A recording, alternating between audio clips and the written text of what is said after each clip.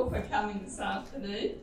I think you can see clearly where the exits are. Um, we're on for about two hours. Please check that your phones are turned off. And um, at the end, we'll be doing raffle ticket um, for some Noel's books.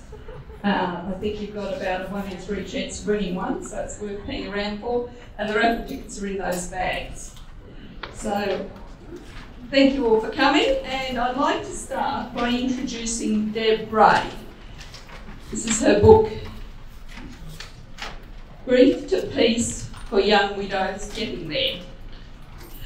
Deb Rae is a Mackay local who works as a consultant, author, and coach. She mostly works in the non for profit sector with services for women, mental health, and people with disabilities and aged care. In 2019, Deb was the winner of the Northern Queensland Women Women's Business Award. And um, she, as I said, publishes the book and um, supports women, families, friends, and professionals wanting to understand the world of a grieving person. So, I'll happily hand over to Deb, who's far more experienced in this area than I am speaking.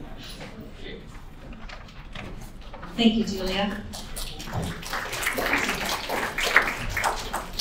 Hello, everyone. It's wonderful to see you all here this afternoon. Such a great crowd, and so many people who are interested in making sure that their retirement is one um, that's that um, is happy and meets their needs. Um, I'm here to talk with you a little bit about some of the work that I do um, and what I see that is happening for people who are in their retirement. Uh, so I wanted to start by asking you a question. Uh, and that question is Have you ever been in a situation when you're seeing someone who's struggling and you'd really like to help them, but you have no idea what to do? You know, have no idea who to ask or where to start. Or it might be that you are in um, a situation where you're really struggling and you want some help, but you have no idea where to start either. Has anyone ever been in that situation? Can you put your hand up if you have? Yep, yep. So there's a lot of people who can relate to that. And uh, with the work that I do, these are the kinds of things that I see happening for people. So I wanted to talk with you about some of the services that are available uh, to make sure that when you are in that situation or if you see someone who is, you are able to help them. Because uh, retirement is about making sure that you're financially secure, that's very important. And also, what I've seen is that a lot of people in retirement lose connection. And then when we lose connection with other people around us, then lots of other things start to go wrong with us. So this is about how can I maintain that connection so that my retirement is healthy financially and, and as well as mentally and emotionally healthy as well. So the first thing that I wanted to talk with you is about a group that's called Wattle, Women Acting Together Through Loss Towards Empowerment. So, as Julia mentioned, I've written a book about dealing with grief. I um, have been a widow myself. I'm, I've remarried. I don't know if I am a widow or not a widow or what I am, but I was a widow for a while. Uh, and I did, did, a lot of research, talked to a lot of other women in the, in the region, and we put together a, a group um, that's an opportunity for women who are widows to come together we say that it's for young widows, but I'm 55 and I'm not leaving. So we say now that it's for women who are young at heart. Uh, and it's an opportunity for people to come together to talk and to people be with people who get it, who understand what they're going through. And it's again, it's about that connection, making that connection with other people in your community. The other thing that I wanted to talk with you is uh, about is called Real Mates Talk. Has anyone heard of Real Mates Talk before? Yeah? Yep, some people have. Fantastic. So some of the work that I have done uh, is with uh, mental health organisations and in suicide prevention. And one of the things was that was noticed was that uh, most of the people who die by suicide are men, uh, and it's across all ages. We, we think it's mostly younger men, but it's not. It's across all ages. And, uh, and, and most of those men have never asked for help. So Real Mates Talk is something that started in this community by men in this community, and it's about supporting men to link with other men, just to have a conversation, just to be able to say, how are you going? And for men to be able to say, I'm not going so well, is there someone who can help me? So there are more than 120 ambassadors for Real Mates Talk across Whitsunday, Isaac and Mackay. And if you'd like to be part of that, I can definitely put you in touch with the right people. They're always looking for anyone, men from any walks of life who, who'd love to be part of that group. And of course, if you need any help, they can help you with that too. They've got a fantastic website. Uh, the other thing I wanted to tell you about again for the men is another group called Shed Happens. So Shed Happens was started in Mackay by a man named Frank Cowell. Frank Cowell was actually the Citizen of the Year for 2022 in Mackay. And Shed Happens is a group that meets every month, and it's an opportunity for men to come together and have a space to uh, share and talk and work through things that might be happening for them. And again, just connect with other people in their community so when something's going wrong, they've got someone to lean on. And one of the events that Shed Happens does every year is International Men of the Year. They have a, a, a Men's Day breakfast. It's International Men's Day on the 19th of November. So there's a breakfast on the 18th of November. Um, women can go to. I've, I've been to a few of them and they're absolutely fantastic. Just supporting men to understand what it, what it means to be a man and how you be a man in, in the current community. Uh, uh, Frank told me there's not very many tickets left, so if you want to go to that, you need to get in soon. And the last thing that I wanted to talk with you about is right back at the beginning. So, um, uh, based on a lot of the stories that I hear from men and from women in the community, I started to interview lots of women mostly and talk about what kinds of things would help you in this space. So, I've put together some resources around that, which are some workshops uh, retreats, some online uh, um, online courses that women can do, and some coaching. So um, this it's called Celebrate Me, and it's an opportunity for uh, women to connect with other women and, and talk about the kinds of things that are happening for them, particularly something called the mental load.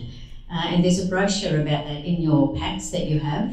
And there's also a sheet out the front if you'd like to sign that to get some more information. And, and I can send you some free resources around um, some of the grief guides as well, if there's anyone who'd like to get a copy of those. So that's it for me. Thank you very much for your time. Thank you for coming this afternoon, and I hope you enjoy the rest of the presentation. Thank you. Thank you, Deb. There's much more information about Deb in the show bags you have. Now, the person you've come to see, Noel Whittaker, um, He's a friend and mentor of mine now for over 40 years. Uh, sorry, over 20 years. um, and I remember being ushered nervously into his office to meet Noel Whittaker. Remember John Marshall? Ushered yes. and he looked up from his desk and he looked at me and he said, Do you play golf? I said, No. and that was the end of that for a while, but anyway, it I found I gave some really good answers tax advice, so it worked in the end.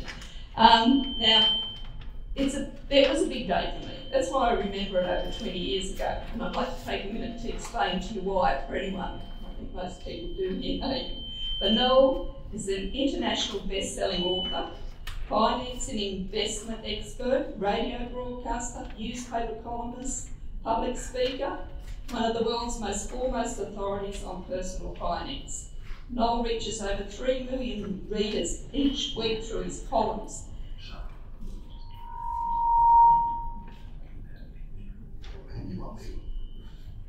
Noel's like that. um, in major Australian newspapers all over Australia. He is a regular contributor to magazines and websites and appears on radio and television. You might have heard him last week on our local radio. He is one of Australia's most successful authors. He um, has written 26 best-selling, which I'm proud to say was with me. Um, he's achieved worldwide sales of more than 2 million copies. His new book, Retirement Made Simple, and 10 Simple Steps to Financial Freedom. Two new books. Two new books. Yes, yes um, are on the bestseller list, and we're giving them away today, so hold on to those records. Um, in 2011, he was made a member of the Order of Australia for service to the community in raising awareness of personal finances. In 2016, he accepted a position as independent director of VGI Global Limited, which list is listed on the Australian Stock Exchange in, on the 28th of September 2017. So you can see he is not the person to come to for advice on how to retire. He's a member of the Australian Securities and Investment Commission Regional Liaison Committee and is an executive in residence with the Facility of Business at Queensland University of Technology. Welcome, Noel. Thanks, Julia. Thank you. It's funny she was talking about John Marshall. We were supposed to play nine holes yesterday. He rings me up at three o'clock. Mate, I was backing out of the driveway in the Mercedes, wasn't looking, hit the neighbour's car, serious damage. So he didn't play golf yesterday, Julia. But that happens, right? Gotcha. You've got a couple of hours, you know, now, and you're going to get a lot of stuff put on you. You've got so much that your mind will be expanding. But I'll try to hit the key points. Because if you can take the key points of what I'll be telling you, that lets you know where to go next, all right? There's no simple answers. But the first was you must be observant. Oh, what's, sorry, oh no, sorry. That came out this morning. Uh, this morning. Um, I'm sorry about the overheads. The, the computer's perfect, but the, this is not, but that's anyway. Uh, 12 million Australians are concerned about retirement. Three in five don't think they're going to have enough, you know? So it's a major issue. Uh, so they're the kind of things we'll cover. Do you know what's the major factor in how much you need to retire? How long are you going to live? Well, there's no simple answer. It depends on the rate of return you can achieve, how long you live, the kind of wine you drink, whether you travel first class or coach, or whether you don't travel. You know, so there's so many variables. As I say in my book, one of the tricks is you do a budget now, then, then go forward taking out the expenses that you, that you won't need after you retire. And that's a good way to start. Then you go to the inflation calculator on my website and just put in those numbers. That will tell you what it will be in eight or nine years. But the, but the rate of inflation is critical. But above all, you must be able to be observant. So look at that picture for me. All got it? All got it? What colour was the arrow? Green. Green. No. What colour was the arrow? Come on. Put it back up. How about that? How about white? Oh! White arrow. See that?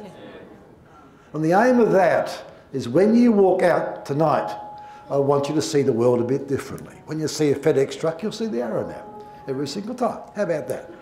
Now, you also must be able to count. so, so count the legs for me. Come on. Count the legs. Anybody? Come on. Have a guess. No one knows. It's a trick picture. But that to me is what it's about the the tusks, eyes, tail, eyes, tail are the basic fundamentals. They don't change, do they? In your, in your um, packs, my 20 commandments of wealth. And they'll be as valid in a thousand years as now. You don't go guarantor for your kids, right?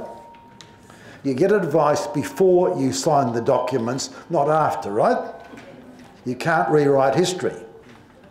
If someone rings you with a deal, you do what?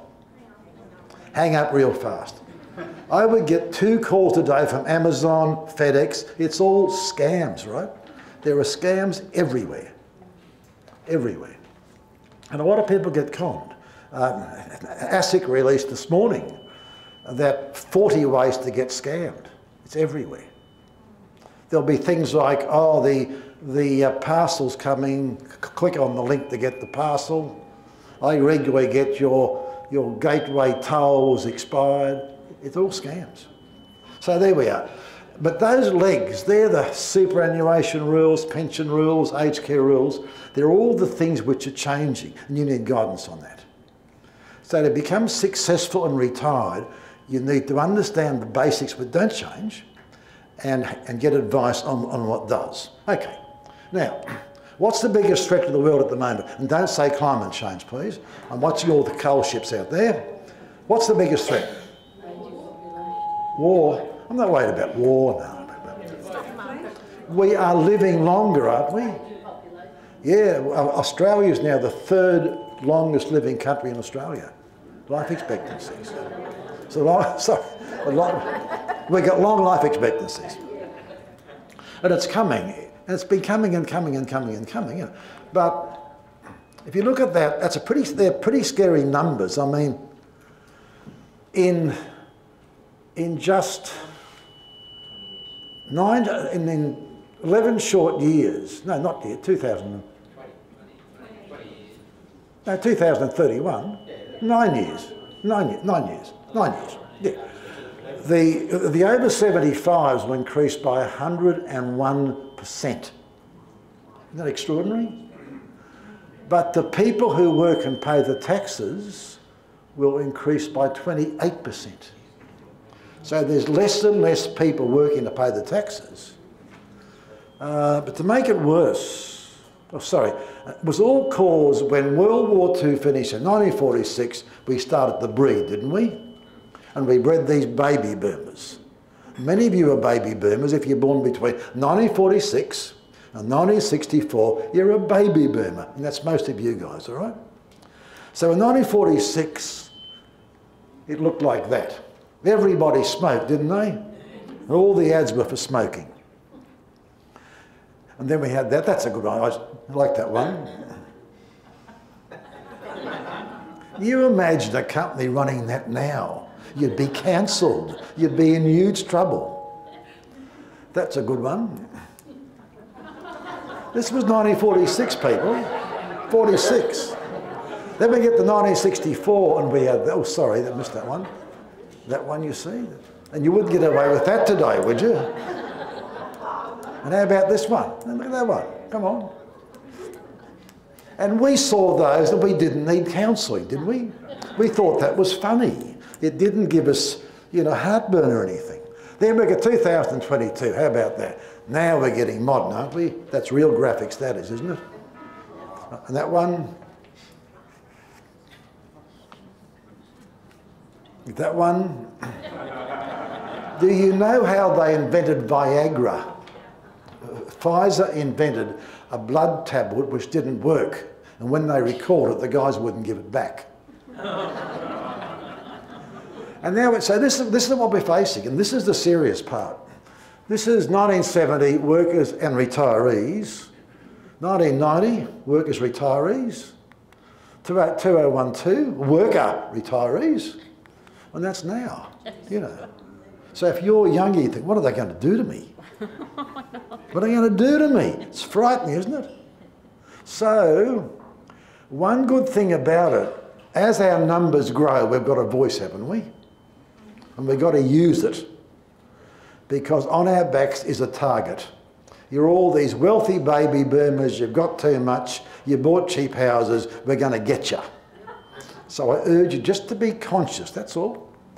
Uh, now, it would all be good if there was a big pot of money. But global debt's now reached, well, so many trillions you can't count it. Every country is running broke. The pension funds in the UK and America are the worst off because they pay indexed pensions.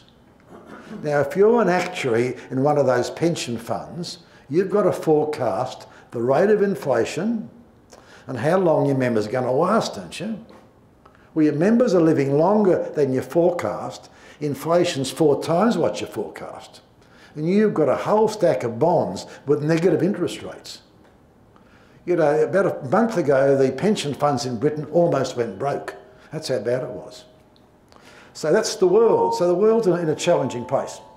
And our tax system is crazy. Now that, on the, this side, is numbers. So this is the number of people, can you see that? That's the number of people in the top bracket. That's the number in the second bracket. Can you see that? So those two people pay that much tax. See that? Look at that. Wow.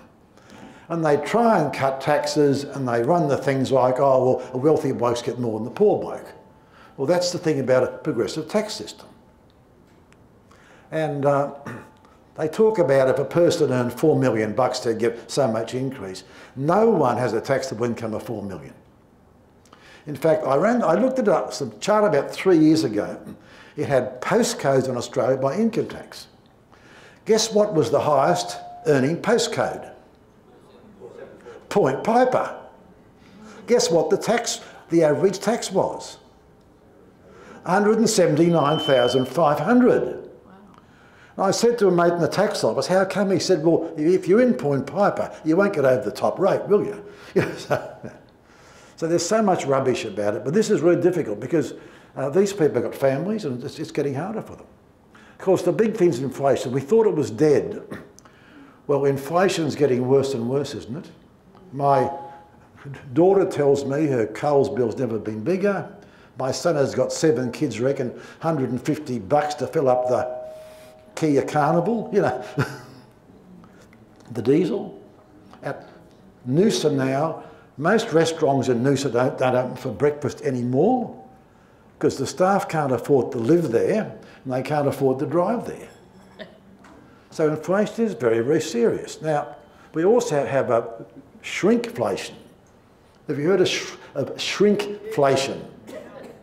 That means the buggers put less lollies in the box.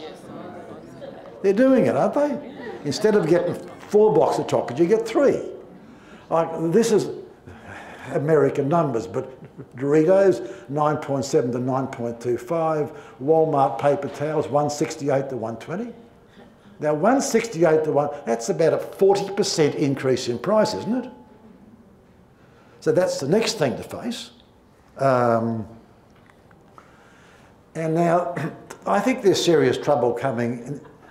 The, the average loan is $600,000. Now, I know it can be meaningless, but if you do a Google on the average home loan in Australia, it's about 600 grand. It may be less here, it may be, but I'm just saying. A lot of people have got a loan of 600,000. Their mortgages go, has gone or will go up by 4%. For sure. It's already gone up most of that, I think. That means 24,000 a year extra income, extra interest. That family's got to find $500 a week more from after-tax dollars. Now, given most families live paycheck to paycheck, how will they do it? Christmas is coming, yes, and then school fees come. And uh, interesting, the Commonwealth Bank announced, the boss yesterday said that he thinks inflation will reduce because of all the unemployment coming. That to me isn't, isn't evidence yet. And of course, Albo's going to build a million houses in five years. now, you, now, you can't get a tradie now, so where Albo's going to get the land, I don't know. But so it's coming. And this is, I, I saw that in, in Brisbane they're now advertising. Look at the people on that ad. It's got everyone. You've got an old lady, you've got an Asian person, you've got a couple, you know, all nice, decent people, all being lured into this payday lending and stuff. And, and now, and now the kids have got afterpay. And that's frightening, isn't it? The fees on that, you know. Um, and this is interesting, I thought, that what I did was I looked at the average house, first home in, in 2019, and that was 620 grand. Is that about the same here, maybe a bit more, a bit less? About the same? And to buy that, you needed 120,000 deposit to avoid mortgage insurance and a loan of 500 grand. See that? And you repaid 450 a week. Today's young couple to buy that home which is currently worth $865,000, up from 620 in three years. Deposit 175, loan 690, repayments $953 a week. Because of the combination of increased house prices and interest rates, it costs the first home buyer twice as much in repayments. Like 953 is a lot of money for a family. But back then, you had to have family income of 110,000 to qualify, now it's 160. So, you know, interesting, isn't it? That's inflation. Now, the biggest rubbish I'm hearing is, oh, well, when inflation is fixed, the Reserve Bank will cut rates. The Reserve Bank will not cut rates in your lifetime. Banks around the world drop rates far too low. They're now winding back to what they see as normal, and there, and there they will sit. Now, I reckon they'll go to four. Westpac says 3.8. There's a, some people say four and a half. But the cash rate will keep moving up and will not go down. The Reserve Bank may do this, but they won't do this. That makes sense? Yeah. And I think that's the biggest enemy you've got. That's your biggest enemy, and that's your saviour. Now, I've just come back from a month in America. You've been to America lately? You might need an overdraft. It's the dearest place in the world.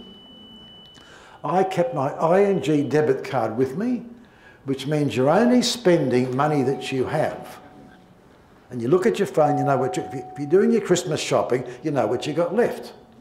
Because what happens every time the credit card bill comes in? What happens? Credit card bill comes, and you say, what? Exactly. It's bigger than I thought, isn't it? I think it couldn't be that much. And they're so sneaky. In tiny print is the amount to pay, and big print, the minimum amount because they want to get you paying the minimum to charge you interest at 20%. You know, debit cards are great. America's frightening. Uh, it's the same number, so a cup of coffee's five. Breakfast is 15 to 20. You go out to eat, a bottle of wine 60, right?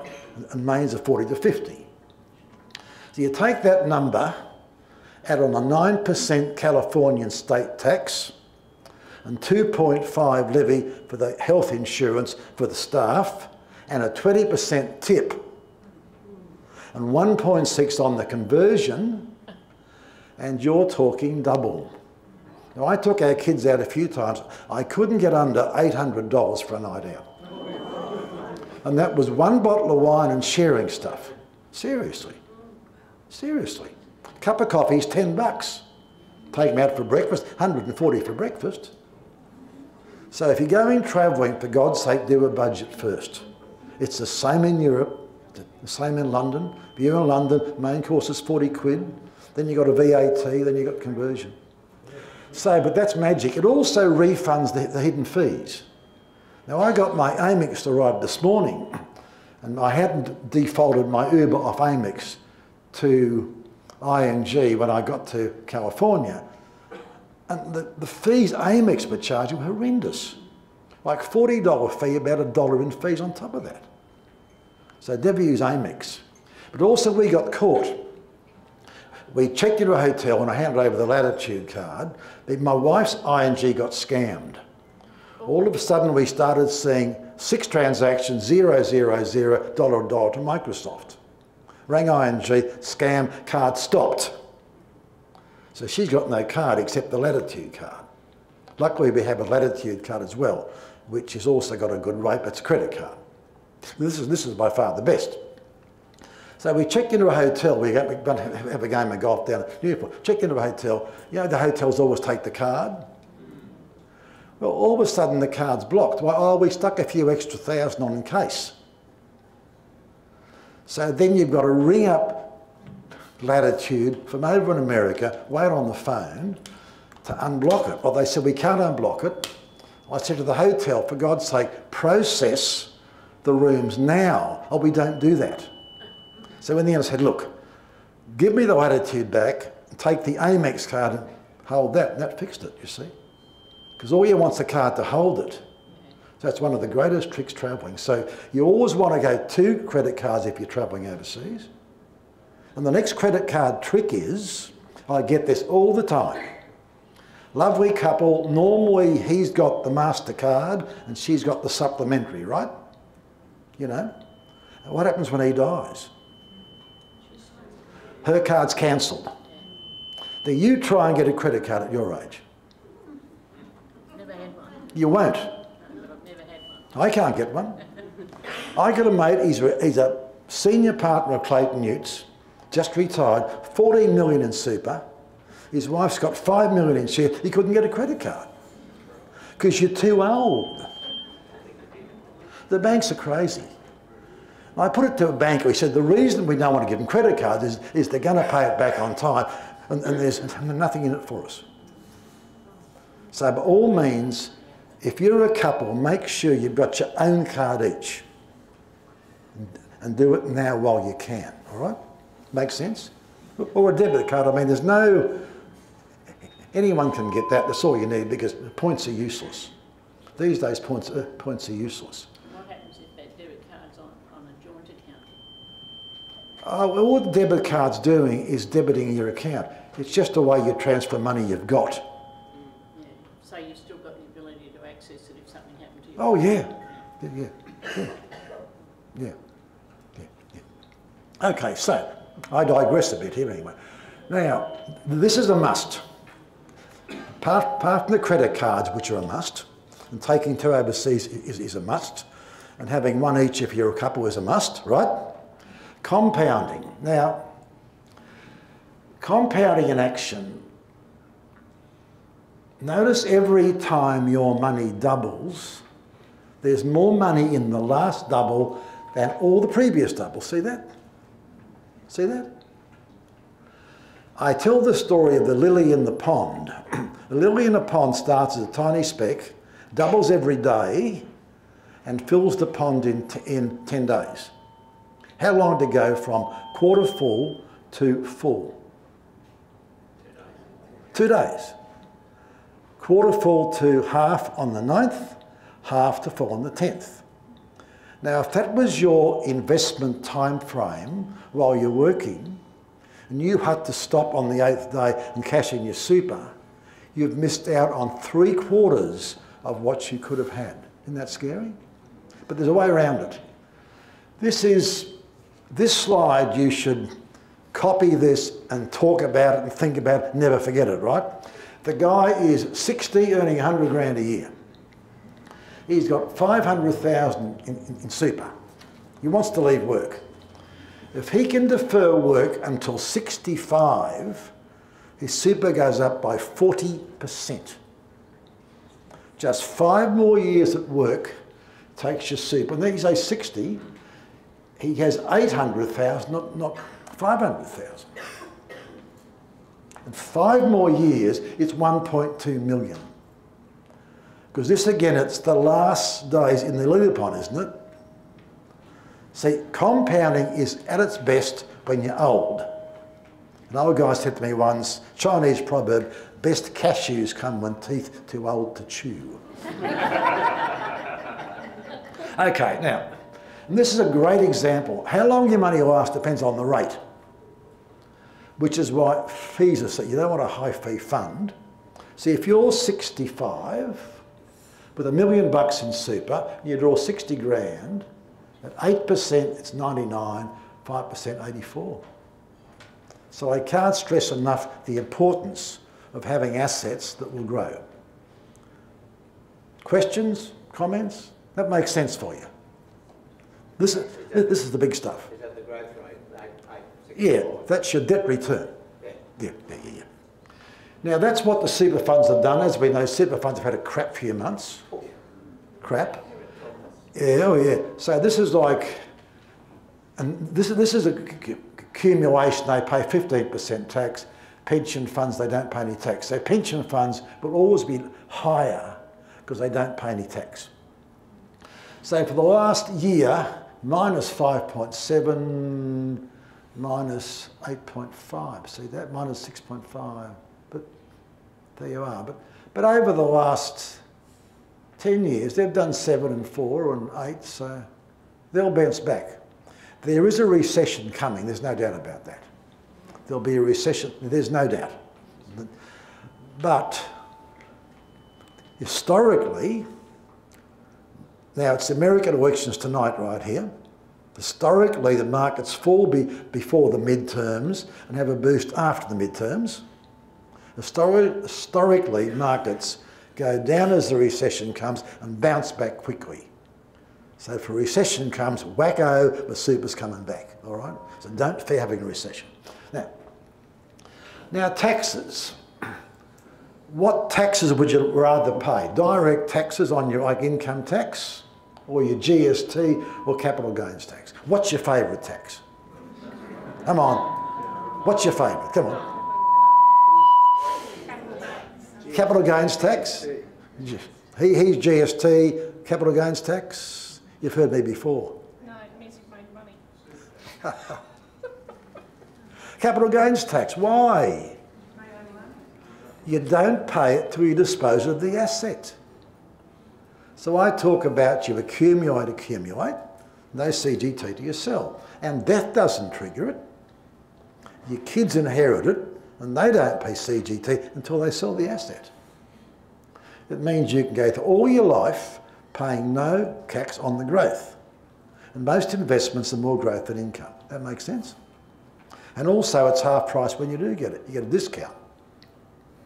So, now Julia Hartman, my good friend, who's a very lateral thinker over here, we've written a couple of books together, and she fell off a brand or something.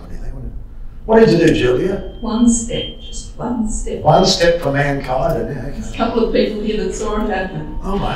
God. what did you do to her? Wasn't I'll she? put it back there. Oh, there, Julia. Go on. Tell them.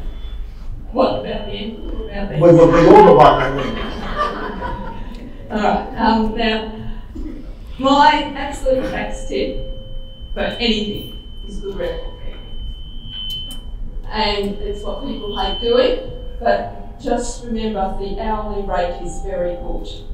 Now, I'll talk to you about capital gains tax and think about when your kids inherit it, how they're going to know what your cost base is.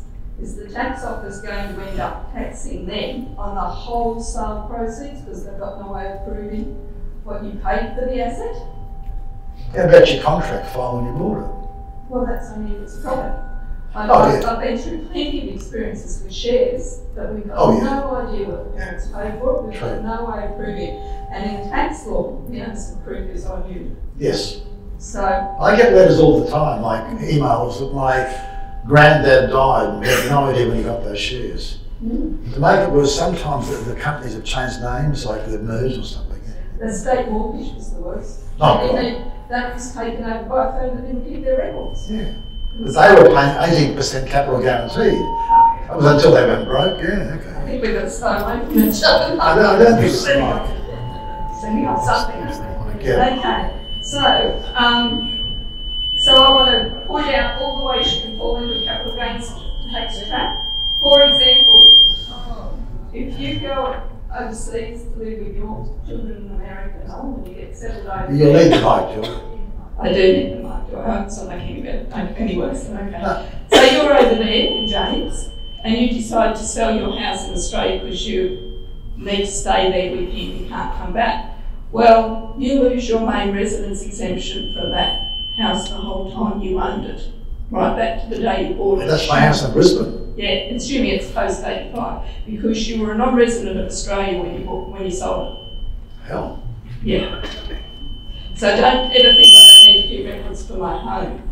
Now, if you die overseas while you're living there, um, it's a bit of a contradiction, isn't it? But anyway. That's the big bill you got for buying a house, yeah.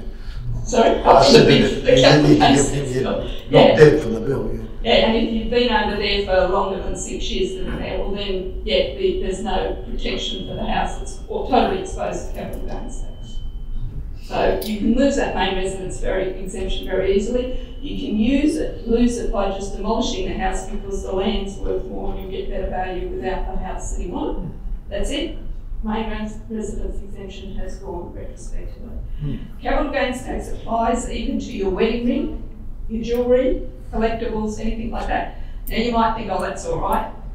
You will use Noel's theory, never going to sell, but you are likely to gift it. And you gift it, and that triggers a capital gains tax event of market value. And that happens mum dies, sorry? Gobsmacked, yeah, that's right. Good. Um, yeah, uh, mum dies, dad inherits automatically that memory, so we've got everything to roll over that I was talking about. But then he goes and gives it to his daughter, capital gains tax.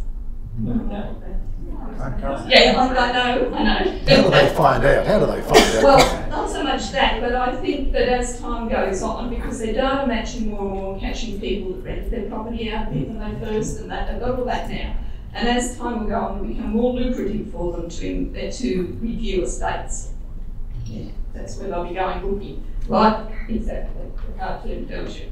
So, can Thank I- you. I love that cartoon. Um, so can I to click for me, Noel? I know you don't like the next slide, but. Well, I don't think, I don't understand, the audience won't know what it means, but you can talk about it. I want to encourage you to use Excel to keep these records. So, at the top of an Excel spreadsheet, I had a pointer, you'd see. Oh, sorry, sorry. Insert. Use the pointer, use the pointer. Alright, so, in an Excel spreadsheet, it's what you normally see, a Word document, or you can see the button in insert. It'll bring up this menu down the bottom, and right over here is the word link.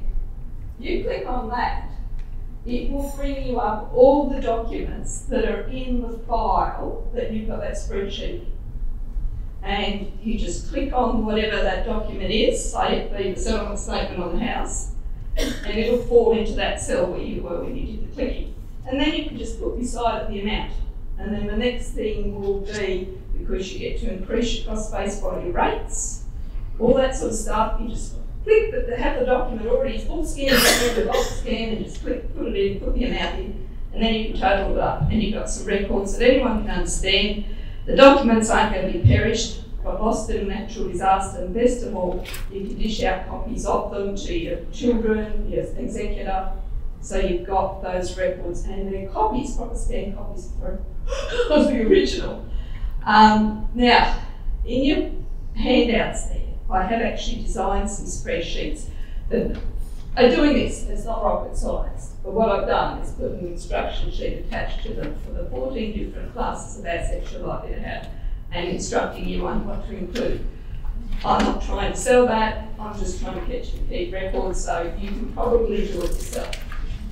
But if you want all the, the detail, it's in that spreadsheet in. Thanks, Julia. Oh, I don't need that. Pointer. Okay, now, okay. Now, who understands the franking credit system? Good on you. Does anyone don't understand franking? That's terrible. The amount of money you've lost in your life would be in the millions. Well, you should have more. okay. The way the franking system works, that's a copy of a bank deposit. I don't have shares in that company anymore, thank God. I think they've gone bust. Anyway, there was a sum in the bank there and a franking credit attached. The franking credit is like a McDonald's voucher. You can spend it at the tax office or get it back if you can't spend it. How about that? So you're not just getting a dividend, you're getting a bonus. So to keep it very simple, let's say that we all form a company. You with me? We're all members of the company. We make a million bucks profit. That's nice. We pay 30% company tax. See that? Leaving $700,000 over. That, we'll see that. Now the $300,000 pack tax creates the franking credit. So I'll pay you each a dividend of $700. Every one of you, 700 bucks. And you get a franking credit of $300 with it. Now, because that's as good as cash in the bank, you pay tax on it. So I've only given you 700, but you're paying tax on a thousand. Isn't that terrible? Well, wait a minute. The franking credit is worth 300, 300 bucks. The tax is 325. Cuts the tax back to $25. How about that? How about that? The dividend is virtually tax free. All your shares, but if you're older, that's all right. Now, If that's in your self-managed super fund, in pension mode, you get the whole franking credit back. So if you've got CBA shares paying, paying 5%, you get 3% on top of that. That's the best yield enhancer you could possibly have. Also, the best way that young employed people can save tax. I keep getting emails, how do I save tax? Well, apart from tax deductible superannuation contributions, which they're targeting, that's about the only way you can save tax. So let's just go to, let's pretend we've got 200,000 in shares. And historically, they've done about nine, but I've given it eight, eight here. So let's say that that 200,000 of shares gives us 3.5% income at uh, 7,000, growth of 8,000. So I've made 15,000 this year. How much tax on the growth? Good class, right? Capital gains tax, yes. How, how much tax on the franking credit? Bugger all, isn't it? It's all been paid for you. So, but basically you've made your 15,000 virtually tax-free. Isn't that good?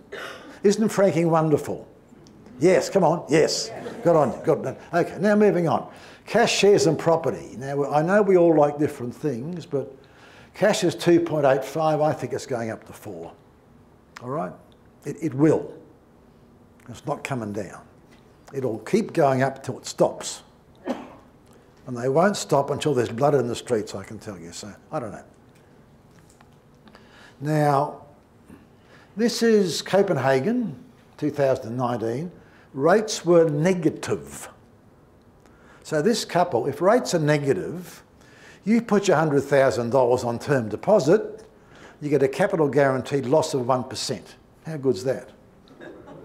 But your grandkids, their mortgage payments are paid to them. They have a negative housing rate.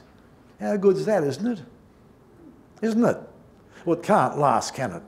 That's how bad the central government's put the world in. That's why all these pension funds holding bonds with negative rates. Now, the trouble is that a, bonds are traded. If you have a bond with a negative rate and rates rise, your bond will plunge in value. Some of the bonds held by British pension funds fell 40% a month ago. Now, negative rates are going, thank God, but you know, the church should never have been there. Now, a lot of people think only property, but property to me has a major problem as a retiree. One is maintenance, one is the land tax and costs. Remember the state government tried to whack our land tax to buggery recently? Mm, and the Queensland state government have not indexed land tax rates for years. So as your property doubles because of time, your land tax isn't indexed. So you've got all the ongoings. But secondly, if I've got a million dollars of shares and you've got a million dollar property and we both want a hundred grand, I can cash in a hundred grand and you can't because you can't sell the back steps. So one of the great benefits of shares is liquidity and I think it's invaluable. All right? That makes sense for you. Now, now that's the worst headline I've seen in my life. Now, what makes it so you can't read that, can you? Can you read it over there? What makes it so awful? Well, if you read it, it says how homeowners are earning thousands of dollars a week. Now, why are they earning $1,000 a week tax free? See, capital gains tax is never happening, it has happened. Your house may have increased by 52,000, which is 1,000 bucks a week. That doesn't say it's going to do it next year, is it? So they're just quoting, I mean, capital gains tax is gone. And then we had, you know, next time it's falling by 1,000 a week. And, and, and that's a nonsense as well. Yours may have fallen, mine may have gone up. Paper headlines on property are sheer rubbish. There we had the worst on record. Now, this is four years ago. What's happened since? The biggest boom in history, for God's sake, right? And you're, oh God, sell now. Gee, it's terrible, isn't it? There we had, now that's got worse. Your house has made 200,000 this time. But yeah, it's just crazy stuff. Now, is that a good, now I bought, had owned a property there. It was a unit, three bedroom, northeast corner. Is that a good investment? Well, what's the obvious question? Where is it? Hedges Avenue, Mermaid Beach. Best street in Queensland, right? I paid $500,000 for it in 1990. Uh, there's the beach out the front. Well, I sold it for $867,000 about four years ago.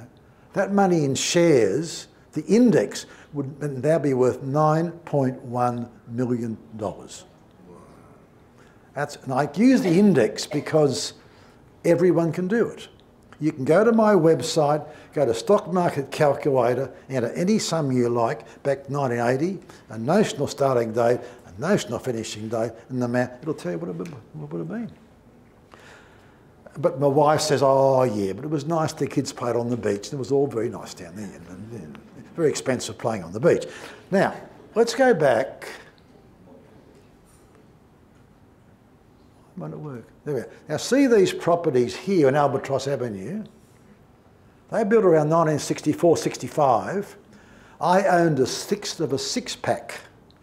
And I sold my sixth of a six pack for 160 grand to buy this heap of rubbish. Guess what? The building just sold for six million for, for six million bucks. 40 purchase waterfront land. If you're in a property, the money is in the land, right? Not the building. That makes sense? Okay. Now, this one, come on, come on, what's wrong? We're missing the computer. This house I still own. Morningside, Brisbane, it's, it's a unit. I've got an, an old aunt who 15 years ago, she wasn't doing too good in a housing commission place you know, she was too good to be in there. So I bought this apartment and said she could stay there for life at a reduced rent. Well, she just won't die. I mean, she's 93 and still going strong. Yeah, I know, I know, that's the trouble. Absolutely. I ring every day, how are you going? I'm good. now, now, that, that's now worth about 500 maybe after 13 years. That sum in the index would be worth 1.2 million bucks. But see, the moment she dies, it's gone, sold. We'll be up for 100 grand in capital gains tax. If I were to put that 400, uh, $216,000 into the index, I'd now have 1.2 million paying me 45,000 franc in income, not what she's not paying me, right? And I, I wouldn't have to sell it. So there'll be a hundred grand in capital gains tax when I sell that. It's a shocker. So there you are. Now, let's talk about shares. Now, if the papers bugger up property, they also bugger up shares, believe me. In 1979, shares were finished. Sell all your shares, right? All gone. Shares are dead. 1997, the crash of 97, papers loved the headlines. Panic, fall, slump, everything. You know. Then we had 2009, again, shares were finished again, and they picked the bottom of the market. How about that? And what you need to, I keep getting emails. I think I'll get out and get back when the market's turned. It's not possible. It'll turn so quick you'll miss it. When it does turn, oh, it might be a false start, you know. You hang in there. Uh, then we had our day of reckoning. It was, that was four years ago, a day of reckoning. There we had a, a market meltdown. you know, meltdown, reckoning, panic. Everyone will get the virus. Panic again, you know, panic, slump, you name it. I like an index fund. Index funds to me are so simple. You've got every horse in the race. If you've got an index fund, you've got Rio and Telstra and JB Hi-Fi and Woolworths and Coles and everybody else, right? It cannot go broke unless all those companies go broke, which ain't going to happen. It's averaged 9% over the last 120 years. It's currently paying about 5% franked. And the older I get, the more I regard my index funds as my crown jewels, you know, instead of playing with some of the things I've played with and lost money on. Things like Zillow, you know, Flutter, Grab, you know, Magellan. Who's got Magellan? Yeah. Yeah, well, I bought 50, or I don't know if to be happy or not, I bought 50 grand's worth at a dollar. Uh, and they got to 70, so I sold $2 million worth. I've kept 19,000, and now they're down to, what, 10 bucks or something. But I, I don't know. Anyway, I've got faith in Magellan. Now, but, but that's the index. You can just see it plugs along. That's Vanguard. There's two. That's VAS. The other one is STW, the, the, the two I use. Because you've got no decisions to make. You know, you go, oh, well, I could have bought it last year. Well, that's the, they've suddenly had a sudden bang, haven't they? Uh, with the index, you're not picking winners. You're just getting a steady, secure investment, that's all. It's epic. Sorry? Epic. AFIC, AFIC similar, AFIC and um, AFC, isn't it? AFC, AFIC, Milton, yeah, all those stuff. Yeah, they're, they're good. They're good, yeah, yeah, good, good. Now, here's the next one. What about Bitcoin? When I was attacking Bitcoin when it was up to 60 grand, they called me a lemming, a stupid old man, I'm out of date, you know. Can't go wrong. Well, you know, to me, Bitcoin's a punt. I mean, if you want to go to the race on the weekend, you can pick the horse, the race, and the jockey, can't you? And its form. And based on that, you can make a decision, can't you? Want to buy property? Well, I like the street, I like the house, know what I mean? Or shares, I like this, this, this. Bitcoin, it's a sheer punt. I'm punting, it'll, it'll, someone, someone will pay more than me. You know, if you want to do it, it's a gamble. That's all. Agree? Now, there we have have you heard of NFTs? That's the big rage. My son rang me from LA. NFTs, Dad. Mate, mate bought one for 10 grand. It was sold for 60 grand the next week, you know. They're non-fungible means non-copyable. If you've got a non-fungible token, it's a unique thing, you know. Uh, so you could actually, if- if you do NFT horse racing on Google, you can actually go and buy, you know, you can buy shares in a horse, in a computer horse, or a computer jockey, or a racetrack, all sorts of things. If that's what you want to do, it's gambling. Then we have this. Now, the next big takeaway tonight is anything advertised is high risk, all right? You don't, good companies don't advertise, mainly. Wary. If you see any sportsman or politician in it, run a mile. Now, I know Matty Hayden, he's a lovely bloke, but he was paid to do that. Now, Nant Whisky was offering 9.5% capital guaranteed over four years.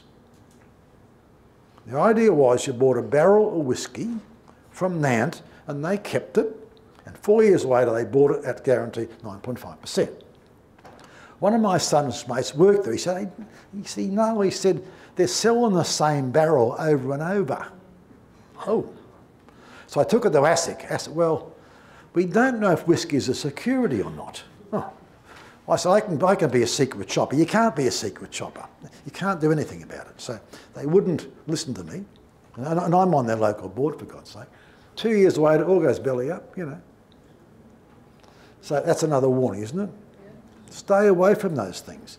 I keep hearing about retirees lost all their money in these silly scams, you know. Okay, now superannuation.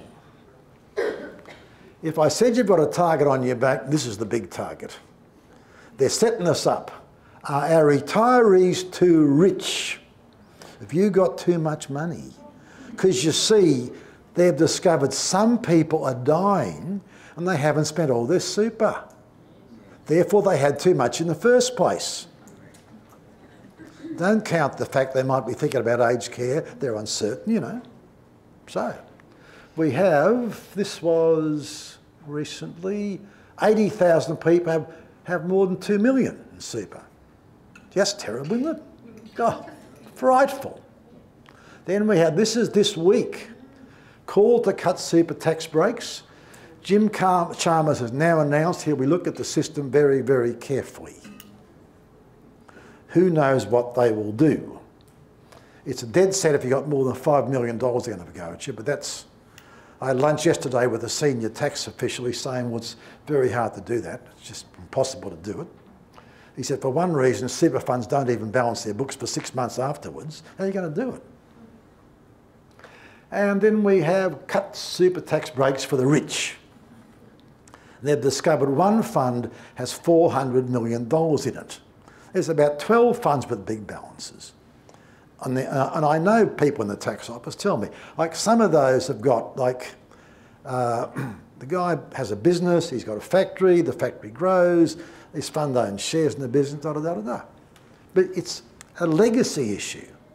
You see, the most you can leave to your spouse or kids is $1.7 million. That's the most you can leave in super. The rest must be cashed out. So if you've got 5 million bucks in super, there'll be 1.7 to the partner's account if the partner's there, into their account, and 3.3 in the bank account. See what I mean? So, in, and all these people are old. In 15 years, they're all gone anyway. There's no money in that. But it's interesting because Labor, the biggest contributor to Labor's fortunes is the industry super funds. And they're very keen to hang on to the money. I think what they'll do, but most people don't agree with me, I reckon they'll make people draw down their super in accumulation at the same rate as their pension funds. I don't know. I don't know. Who knows? Because really the super system's fine now. Contributions have been capped. You know, you can put in $110,000 of after-tax dollars. If you're wealthy, you've got to earn 220 to have that. And if you earn more than 200,000, they take a third off the contributions, you know. It's no longer possible to have, have big balances. Now, changes from last year, you can now contribute to 67 with no work test, and that's important.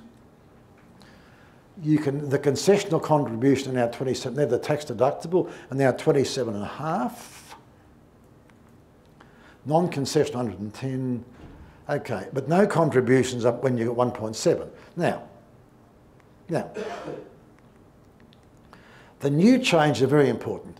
The work test is abolished to 75, but only for after-tax contributions. This will be very important as you'll see in a minute, all right? The age of eligibility has gone from 65 to 60 for downsizing contributions and now reduced to 55, which is meaningless anyway. Because if you contribute to 75, you wouldn't need a downsizer. Now, do you all understand the recontribution strategy? Probably not. Do you understand the death tax? Death tax? On super, okay. Your super balance is taxable and non-taxable components. The taxable is all deductible contributions and their earnings. So everyone's got taxable. The non-taxable is money you put in there from after-tax dollars. So the average fund is mainly taxable. You can leave that to your partner tax-free. But if it goes to a non-dependent, it's a 17% death tax. How about that? So if you've got half a million in super, there can be $35,000 in death tax to a non-dependent. It doesn't matter if it goes to your partner, but it does matter if the partner becomes on their own, doesn't it? Yes? Now, now there's, a way, there's always a way around it. What's the best way to do it? You give your power of attorney instructions that when your death is imminent, and the Queen died quick, but she didn't die like that. Most people, there's some notice. He takes all the money out and puts that in your bank account. Death tax solved. So very, very important that your attorney has instructions to take all your superannuation out tax-free if your death is near. Okay? except if you've got a partner, then you better take advice about that, all right? Makes sense? The other way is, okay, the guy's 65, 66, 69, 70, 71, he takes out $330,000 out of his account. And that's legal. He recontributes 330 and that becomes after-tax dollars. He recontributes the 330,000 and that all becomes non-taxable. So by starting, say, at 65 and going through it, you can nearly convert all your superannuation from taxable to non-taxable purely by the recontribution strategy. Okay? But always be aware, once you get to 1.7, you can't do it because you, you can't put any more in. Okay? Makes sense? Questions? Now, So you can, sorry, so you can do, um, so you can do that with your super after you've already rolled it up into a pension. Yeah, you can do it any time, but you, can do it to 75 now. And that's why I said the downsizing contribution, the reduced to 55 was a nonsense. Uh, because you don't need the downsize if you're 55, you can use the up to 75. So I was having a haircut yesterday. My barb said, oh, I'm just sold my house, use a downsizer. When did you sell it? Nine months ago. I said, well, nine months, you got six, uh, 60 days, I think. Was it 60 days? Or, I think it's 60 or 90 days. Oh. I said, wait a minute. You're 74, your wife's 70 you're going to use the ordinary contribution rules. So you can, you see. You didn't need the downsizer. But if you got both, you would do the ordinary contribution first because the downsize has no limit. You can have $10 million in super and still do the downsizing contribution. So you wouldn't go the, the non-concessional personal contribution first if it took you over the limit. So you do the you do it. Sorry, you, you you wouldn't do the downsizer first. You do the other one first. All right. Is that every three years? Every three years. Yeah, every three years. Well, it's 110 grand a year, and you can bring forward three years. Yeah, yeah. And catch-up contribution. Now these are very very important. Uh, basically, you can catch up deductible contributions which you haven't made. So this couple, that's the death tax right now. This couple was 66. He's got 600,000 in super and she's got 300,000 in super. Now you can't use catch-up contributions if your balance exceeds half a million. Very simply solved. He takes out 150 grand and gives that to her and she contributed. You with me? So now they've both got 450,000 in super instead of a, a six and a three. That makes sense? Both under half a million. Now, he retired years ago, six years ago. So he's got all those unused caps he can use. They can both use because they retired at 60. Now, why would you want to do this? Why would you want to do it?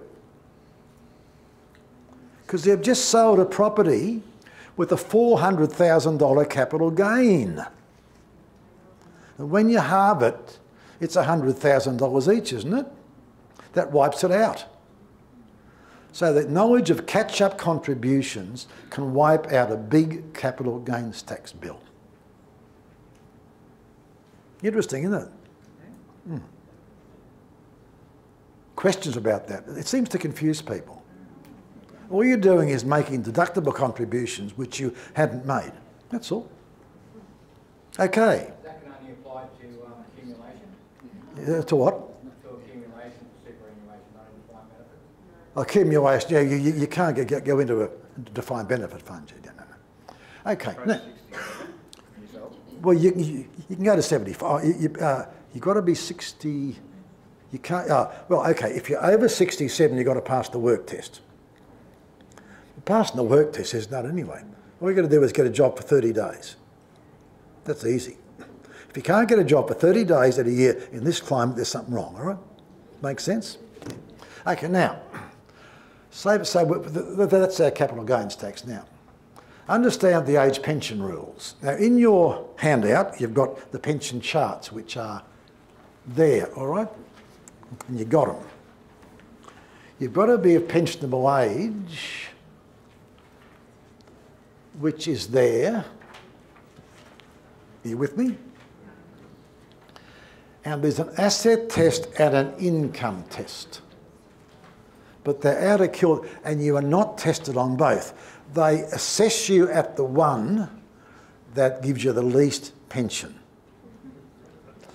And once a couple get to around $450,000 of assets, you tend to become asset tested, which means the income test doesn't work, doesn't need it. So if you're a couple here and you've got 800,000 of assets, you're about 150 pension.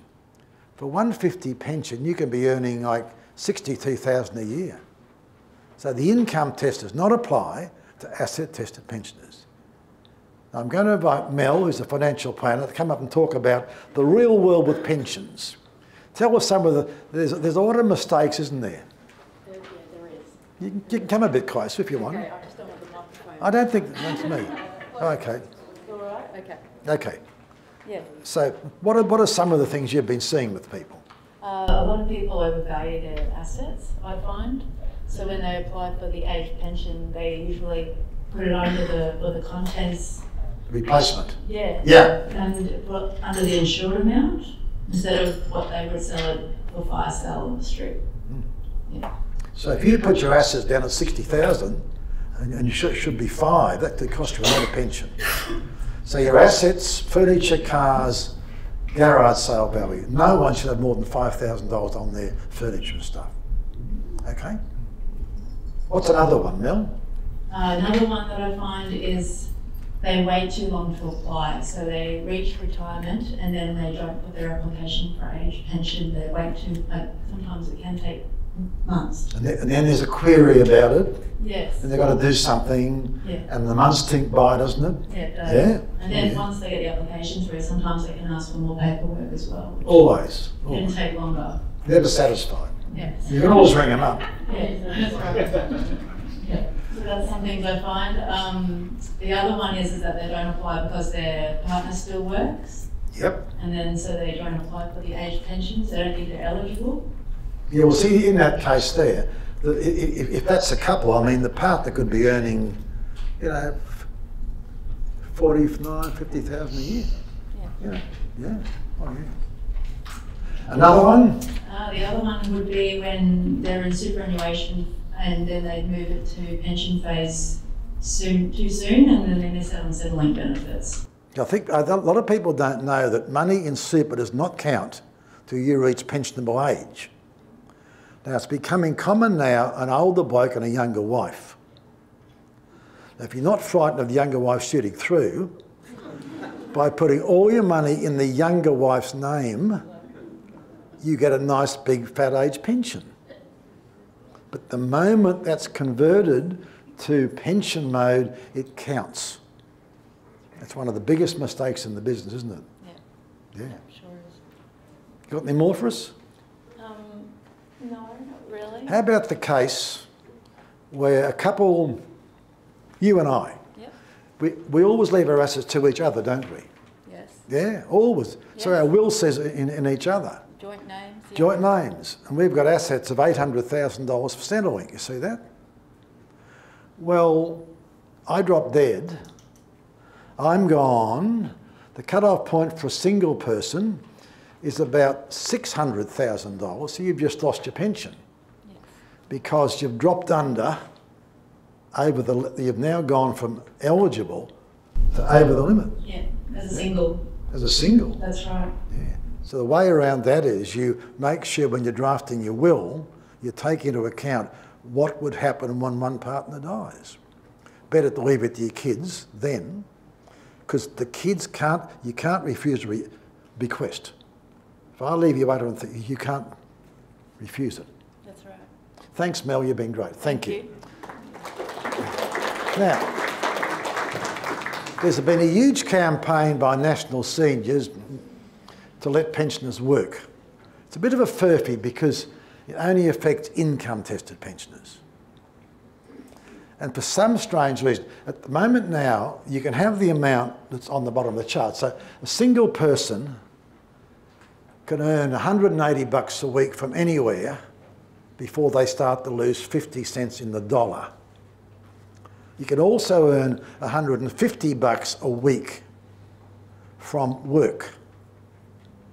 They've just increased that by 80 bucks. So now you can earn as a single 160 bucks from anywhere and 150 from work, another 80 from work. Now, for some reason it's beyond me, seriously, they're going to, that only goes till next June. Now, why would they do that? It's crazy stuff. So that's called the work bonus. But it's, it's a campaign that's been pretty successful. Now, there's a great concession calculator. What National Seniors have a brilliant concession calculator. And there's many concessions we don't know about. Just log on to National Seniors and you um, calculate it.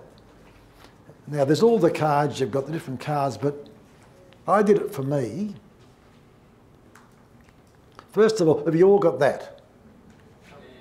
If you're over 65, anyone over 65 haven't got it?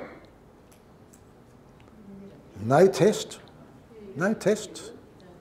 Cheap on buses and ferries and a third off your car rego. And I discovered I get an energy supplement. So that gives me, I also get um, about, so I also get energy. I get 470 bucks as well as energy and gas supplement. So if you've got that card, which we all can get, there's no test except age. If you've got that card, you'll get eight bucks a week off your gas and electricity. Automatic. That was worth coming, wasn't it? I love getting it. Yeah, there we go. Now, the Commonwealth Seniors Health Card, uh, that's the one that retirees love as well. It is not assets tested. And they've just, it's only income tested. And they've raised the bar so high, I think everyone's going to qualify for this. Because the income test is the deemed amount of your super from which you are drawing a pension. But since Malcolm Turnbull attacked the system in 2016, the most we can have in pension mode is 1.7 million. So let's say you're a couple and you've got 1.7 million in super, that's deemed to be earning $74,000. The cut-off point for a couple has just been raised to $144,000. So you can be a couple in a $10 million house and a huge beach house that costs nothing, uh, a non-rented rented beach house and a great big boat, uh, five million each in super, as long as you earn less than 69,000, you get the Commonwealth Seniors Health Card. Now, only one trick you've got to apply, they don't give it you, you have to apply to Centrelink, that's all right. And if you're having, uh, I, mean, I often get asked, you might have an unusual income because of a capital gain.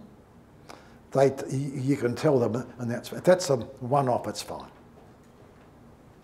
What age is that one for? You've got to be pensionable age. You've got to be pensionable age, but not, but not getting a pension because you wouldn't need it if you're getting a pension. Any question about it? Here we go. Now, now, equity release. The government has made it very, very well. First of all, the government's worried that we don't spend enough and die with more money than we should have. The government thinks we should use our house to live off when we retire. Okay? Now, there's only two ways to do that. You downsize or borrow, right? Okay? Which I'll talk about in, in a minute. The two things there's a pension loan scheme which you can get at 3.95% and reverse mortgage of various sorts. I'm going to call on Nicole, is she there somewhere? And she's going to take us through, she's a mortgage broker, and I'm going to have a, have a little break while she tells about all about the home equity, all right? There you go. Sorry, that's not your, there you are. Okay, there you are, Nicole. Welcome, Nicole, people. You'll, you'll need the pointer. Thanks, mate. how you going? So as Noel said, I'm Nicole. I'm a mortgage broker here locally in Mackay. Um, and I'm just going to give you a little bit of information about reverse mortgages and, and what they are, just to, um, to just give you that little bit of knowledge and, and understanding of how it could possibly help you if, if that's something you wanted to look into. So, um, let's just, okay. Um, so basically, a reverse mortgage is, is just a home loan um, for people aged over 60 to give you access to equity in your home.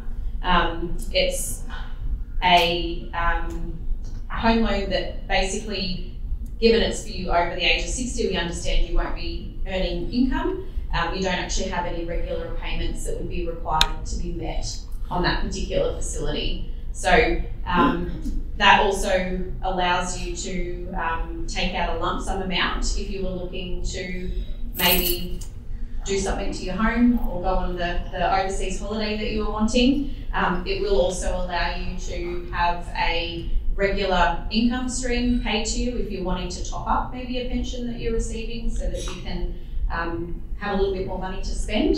Um, and it also will allow you to um, have a line of credit so that you can have a pre-approved amount available to you in the case that you may want to do things in the future. So there are three ways you can use it, and you actually can set it up so that you can use it as a combination of those three. So you don't just have to have one set way, you can actually request to have it set up in, in three different ways. Um, interest does get charged like any other loan, so um, they are lending you money, so they do charge you interest, and there is a um, it is a slightly higher rate, I think, than what at the moment with rates increasing, the rates have gone up. So we are looking at interest rates around the seven to eight percent. So it is it is higher than a standard home loan. Um, and if you sell your home or if you do pass away, you are, do actually have to pay that debt out in full. So it, it does have to be repaid at that particular time. Um, also, if you live in your home for a while but then decide to move into aged care, that's another um, way you would have to pay out at that time. Or there are some options you might be able to speak with a lender about being able to keep it at that time. Um, like any other home loan, you do get charged interest, as I mentioned before. But what happens in this particular instance is it compounds. And so, as I said, you don't have to make payments. It means that if you start out with a loan balance of 200,000 and you're getting charged interest on that, it is just going to be continually growing the balance. But that also means that you are paying interest on your interest as well. So you do um, that you do need to be aware of that. Um, any fees and charges as well can also get charged onto that loan for you. So again, you're not out of pocket any money. It does basically just all continue to move through. I think I was meant to go past the next page, sorry. yeah. Um, and the other option is you can also repay that reverse mortgage in full at any time or partially. So if you were to sell other assets at any time, um, you can actually pay some debt off. You don't have to keep the whole loan loan amount there for you. Um, ways you can use a reverse mortgage, so you can use it to refinance if you've got a current home loan. Um, you can actually refinance the existing amount of debt that you currently have. You can use it for home improve, improvements, travel, um, a new car, consolidating any other debts that you might have if you are not wanting to continue to pay that. Um, medical costs, aged care, so there is an option available for you if you are going into an aged care facility. Um, and also, it can be, like I mentioned before, just some extra income to help top up your pension to give you a little bit more income to spend. Um, some things that you need to understand about applying for um, a reverse mortgage. The process does take time. There's a lot of regulatory requirements and identification requirements um, that are in place. And so just be prepared that if it is something you are looking at doing, you do want to allow for um, two to three months as a worst case scenario to make sure that that is all, all met. Um, it is mandatory to get legal advice, so it's something that you do have to actually meet with a solicitor throughout the process, and that's a requirement of um, the lenders as well. So they will walk through that with you. Um, there is some um, caps on how much you can borrow depending on your age, and so there's a table I'll show you shortly which which does sort of detail um, the fact that depending on your age, the percentage of how much you can actually borrow against your property value. Um, there is also a um, negative equity protection in place, and so that's something that came about in 2012, which means that if you were to go into a reverse mortgage, you're never going to be in a situation where your property is um, worth less than the amount that you actually owe on it. So you're not going to be leaving any debt behind for your loved ones. It will actually be paid out because they'll cap it. Um, you can also request to cap it at a certain amount if you're wanting to as well um, through the process with lenders. So some people feel a bit more comfortable with that. You can then, if you're wanting to leave um, some, make sure there's some equity for your children when they sell the property, you, can actually cap it um, along through the process.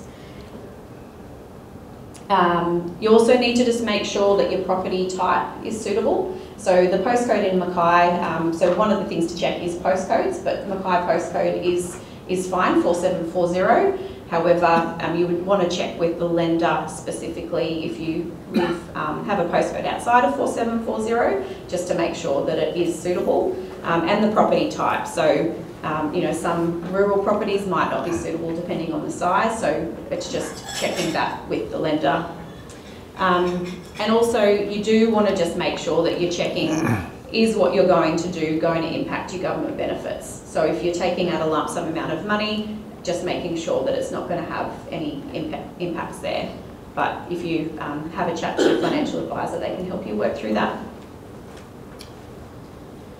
So this is the small table that we have available um, in relation to how much you can borrow, so the percentage of your property value based on your age. And just bearing in mind, this is based on, um, you can actually have one person um, that's retired and then another person is age 55 um, on application there. So not both parties have to have retired, um, but the minimum age for the, the second person has to be 55. So um, as you can see, 55 has the star there, so the most you can borrow at that time is 15%, and um, it goes up until age 90, and the maximum you can borrow is 50% of the property value.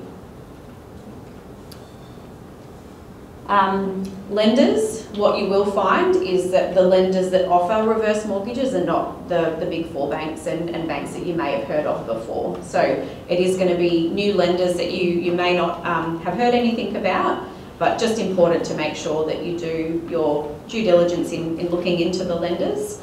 Um, and things that you, you want to make sure of is that you understand what fees they're going to be charging, just like you would when you're getting a normal home loan. So fees, charges and interest rates available and just comparing those um, with the options out there. Um, making sure that there's flexibility there for you so that you can do what you are wanting to do and that goes back to talking about the products as well and, and the ways that you can have that set up. Um, again, like I said before, your property, making sure it's acceptable with that particular lenders that you're looking at. Um, and then looking into the different loan types that they have available, just like you would if you were taking out a, um, a home loan in the past. You want to make sure you're doing the same things with, with these lenders. Um, and we would always recommend that the steps to take when you are looking into this is obviously educate yourself as much as you possibly can on what it looks like. Um, talking to a um, financial advisor is a great first step in looking into your current situation, so we would always recommend that. Um, the moneysmart.gov website is a great resource. It has some information in there. Um, and they do actually have some calculators that you can utilise on their website to give you a bit of an idea of what it looks like for your particular situation. So if you are feeling comfortable to jump on the internet and do that, definitely do that or grab someone, a family member that might be able to help you through that process to, to have a look at that. Um, and just compare the lenders. Make sure that you've, you've looked at all of the options um, so that you're, you're comfortable to do that. And that's really it from me. Yeah. Thank you. Thank you. I need the pointer. You can't. Um, so what happens is if you have any current debt on your property, they'll actually take that over as an amount and they will have, hold the first mortgage on your property. So um, it wouldn't be a second mortgage. on that field, I think you're better to leave it as long as you can because that reduces the compounding. I think it's important to involve your family because if they can pay the interest, the debt won't increase. Because you're spending the kids' money basically. So if they can pay the interest, the debt won't increase. Make sense? Now then there's downsizing. Now the what you need to understand to downsize is probably going to cost about 150 grand in changeover costs. So you may decide, well, I'd rather stay where I am and maybe take out a 50 grand reverse mortgage. It'll be much cheaper than downsizing. But then you may be in a house that needs repairs, you know, uh, and you're better off to downsize. So it's, it's, it's horses for courses. If you're in a house that needs repairs and you keep thinking you'll move, you'll reach a stage where you can't afford the repairs as they're building up. You know, so it's a big decision. Also, the big decision about the downsizing move is that if you're on the age pension, your home is exempt. So if you're in a $1.2 million house on the full pension and you downsize to a $600,000 house, you'd release five or six hundred thousand dollars of assessable assets, and that could make a big hole in your age pension. So it's very important you understand the potential effect on your age pension about downsizing. And having, as I said before, you can put $300,000 each into super with no age limit and no superannuation cap. So it's there if you need it, right? Now, very important. We're living in the age of electric vehicles, aren't we? Aren't we? Well, there's a lot of potential fights with big apartments when some people want to charge their Tesla and, and other people don't want to have them paying for it. So I think you need to make very certain if you go into an apartment, what will be the thing if you buy an EV eventually, because eventually you will, all right? I've got an electric, I've got a Tesla. My wife has a Lexus hybrid electric. Now my Tesla has a range of 500 Ks which is scary, it's so little. Her Lexus PHEV has an 80k electric range and a 900k hybrid range. So I could drive that to Brisbane from here. And I think they're the way of the future. Like she just brings a car in, plugs it into, the, into the garage, any old power point. Next morning, 80k electric sitting there. She bought the car in May. She's had two tankfuls of petrol in, since May. So I think the electric hybrid is the way to go, not a straight electric car. Also, people don't understand with electric vehicles that every car charges at a different speed. I sold a big Tesla by a little Tesla. Little Tesla charged at half the rate of the big one did, even though it's three years younger. And charges differ enormously. Now, Kia have a new electric Kia which can charge in 16 minutes, but there's no charger in Australia capable of doing it. I know, so interesting stuff. Anyway. So, now the future. They, um, what the government, what the government thinks is that your life should revolve around three things. The first thing is a lifestyle income. That's your account-based pension you, you all know about the account-based pension, right? You just draw it from your super. Everyone has a drawback and a good point. The drawback is your balance can go up and down as we've seen, doesn't it? Doesn't it? But if you need 50 grand, you got it there, all right? So it gives you access to a lump sum. The downside is the balance fluctuates. You can go to the to the income for the the pension is the safety net. So the pension is, is, is your safety net. Your account-based pension is your cash and everything, and they're now developing what's called lifetime income pensions, whereby you commit part of your super, and that pays you an income for life. Okay, And if you die prematurely, you get most of it back. Now, the big benefit of these is that only 60% counts for the assets test. So I'll show you. Here's a couple.